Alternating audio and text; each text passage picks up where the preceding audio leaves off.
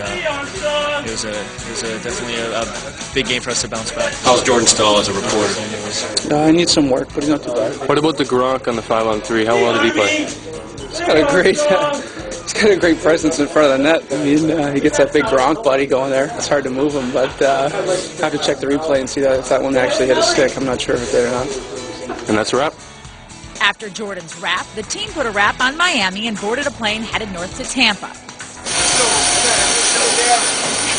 And go they did to their new hotel in downtown Tampa, where they shut it down for the night.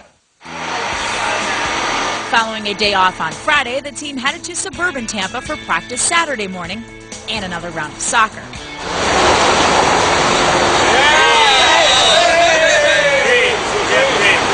And they were back on the ice for about an hour and a half. Got to thank the guys who made the schedule to you know give us a couple days here, and uh, with the grind that we're going to have coming up, you know it's especially nice to have all the guys together on the road and uh, just get that couple days. We're going to be seeing a lot of each other, but uh, you know we're going to be at the rink most of the time, so uh, it's nice just to get these couple of days, enjoy the sun. Sunday morning meant another bus trip to another arena, but not before fighting through crowds of Penguins fans. Everybody back up!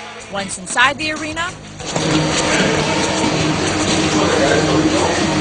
Crosby and his teammates warmed up in the hallways, but unfortunately, things did not go as well in Tampa. Richards. Royal with a shot save. Rebound score. Marty St. Louis bangs it in on the rebound.